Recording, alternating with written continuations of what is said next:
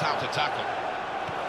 Well, I think we can understand why. There's Oh, he's through. He's one-on-one with the goalkeeper. Here's the chance. Oh, poor chap, it's an own goal. Well, it comes with the territory, doesn't it, when you're in that kind of position? And that's a goal well worth analysing again.